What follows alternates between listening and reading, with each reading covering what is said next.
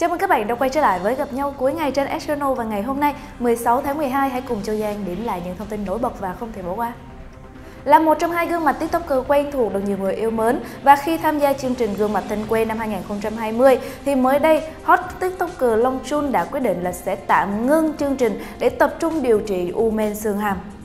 Trích từ đoạn chia sẻ của Long Chun, có lẽ là quá sớm khi Long Chun phải nói lời chào tạm biệt mọi người với một chương trình mà Long vô cùng yêu thích. Sau khi ghi hình xong số thứ tư của gương mặt thân quen, Long đã đi khám và phát hiện bên xương hàm của mình xuất hiện một khối u khá lớn và nó đã ăn gần như hết vùng xương hàm bên phải của Long.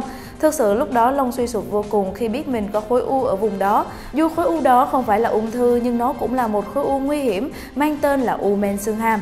Ở giai đoạn này thì Long đã bị khối u ăn hết vùng xương hàm dưới, và để điều trị thì Long sẽ phải phẫu thuật cắt bỏ khối u và toàn bộ vùng xương hàm dưới. Nếu như mất đi vùng xương hàm dưới thì chắc chắn là khuôn mặt của mình sẽ bị dị dạng và lép về phía bên phải. Là một người diễn viên kiếm tiền bằng khuôn mặt của mình, lần này Long lại rơi vào trạng thái khác, tuổi thân. Nói tóm lại, Long phải xác định đây là một cuộc chiến lâu dài, bền bỉ và Long cũng không biết bao giờ nó sẽ kết thúc, chỉ biết cố gắng từng bước và chiến đấu với tất cả những gì có thể xảy ra.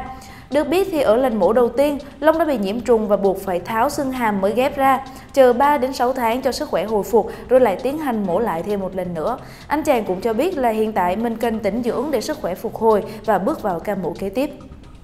Mới đây, trên trang fanpage chính thức thì nghệ sĩ Chí Trung đã đăng tải một tấm hình chụp với rất nhiều gương mặt thân quen của chương trình Táo Quân. Vậy có thể nào là năm nay chúng ta sẽ được xem Táo Quân vào đêm 30 Tết hay không? Cụ thể thì nhiều gương mặt quen thuộc của chương trình Táo Quân như là Quốc Khánh, Quang Thắng, Chí Trung, Xuân Bắc, Tự Long, Công Lý, Vinh Dung đã cùng hồi ngộ. Trên tay các nghệ sĩ đều cầm một tập giấy như là kịch bản và khung cảnh sân khấu rất giống với bối cảnh của Táo Quân. Chính vì vậy, nhiều khán giả đang nghĩ rằng rất có thể là Táo Quân năm nay sẽ trở lại và các táo đã chuẩn bị cho việc tập duyệt ghi hình. Bên dưới phần bình luận, rất nhiều khán giả đã comment dưới bài đăng của nghệ sĩ Chí Trung để thắc mắc về lần hồi ngộ này của các táo. Trước đó trên trang fanpage, nghệ sĩ Chí Trung cũng đăng tải bức ảnh mô phỏng tạo hình táo quân của mình kèm chú thích ẩn ý hai tháng nữa hồi ngộ trăng. Điều này càng khiến cho những khán giả yêu mến chương trình vào đêm giao thừa ngày càng mong đợi.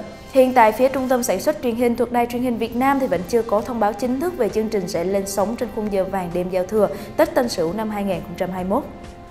Mặc dù chỉ đăng tải vỏn vẹn tấm poster chụp chung với nữ diễn viên Hải Tú, nhưng mà Sơn Tùng đã nhanh chóng khiến cho các trang mạng xã hội xôn xao và cộng đồng mạng cũng đã nhanh chóng bắt trend.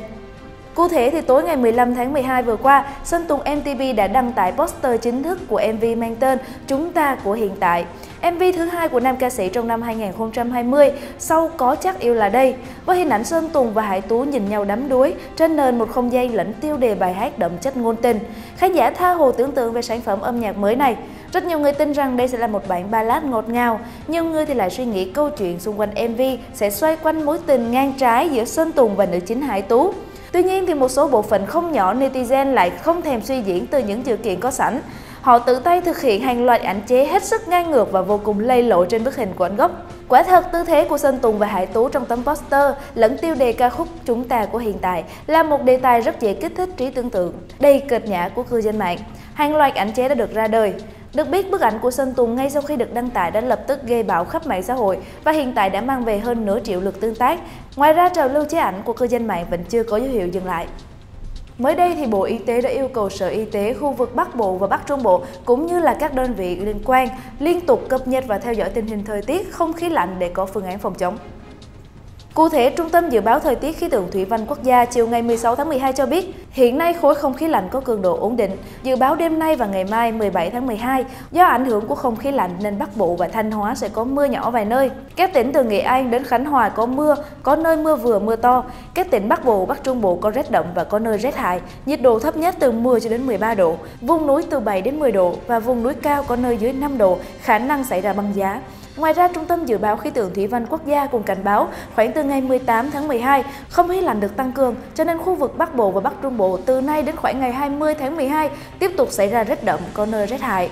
Riêng khu vực Hà Nội đêm nay và ngày mai 17 tháng 12 có mưa nhỏ vài nơi, rét đậm với nhiệt độ thấp nhất phổ biến vào khoảng 11 cho đến 13 độ. Chính vì vậy, Bộ Y tế đã có công điện về việc chủ động ứng phó với rét đậm rét hại, yêu cầu Sở Y tế các tỉnh thành phố khu vực Bắc Bộ và Bắc Trung Bộ, các đơn vị trực thuộc thường xuyên cập nhật tình hình thời tiết, diễn biến không khí lạnh, rét đậm rét hại để có phương án phòng chống, ra soát các kế hoạch phương án ứng phó với rét đậm rét hại. Đồng thời tuyên truyền cho người dân thực hiện các biện pháp bảo đảm an toàn, giữ ấm cho người dân, đặc biệt là người dân già, trẻ em và học sinh, hướng dẫn cho người dân cách giữ ấm và chống rét, đề phòng các biến chứng về hô hấp, tim mạch, đồng thời tăng cường giữ ấm, tránh rét cho các bệnh nhân tại các cơ sở y tế. Mới đây thì sau vài giờ tạm dừng hoạt động server thì trang web bán vé giả lừa đảo người tiêu dùng đổi lốt hãng hàng không Vietjet Air đã hoạt động trở lại. Đây là thông tin được chuyên gia an ninh mạng Ngô Minh Hiếu, còn được biết tới với cái tên Hiếu BC cập nhật. Được biết sau khi server cũ bị chặn, những kẻ đứng sau trang web có địa chỉ vietjetvn.com đã nhanh chóng thuê server mới để khôi phục hoạt động. Hiện tại, website lừa đảo này đã có thể truy cập như bình thường. Trong phần cập nhật, Hiếu PC còn không quên nhắc nhở mọi người nên cẩn trọng. Theo đó, quy trình để triệt hạ tận gốc hai tên miền này sẽ mất nhiều thời gian vì các thủ tục giấy tờ rất phức tạp. Trước sự việc trên, thì cư dân mạng vẫn đang liên tục động viên và thể hiện tinh thần ủng hộ những hoạt động dẹp loạn của anh chàng cựu hacker này. Và vừa rồi là những thông tin nổi bật có trong ngày hôm nay mà gặp nhau cuối ngày muốn mang đến cho các bạn. Cảm ơn các bạn đã quan tâm theo dõi và bây giờ thì chúc các bạn ngủ ngon.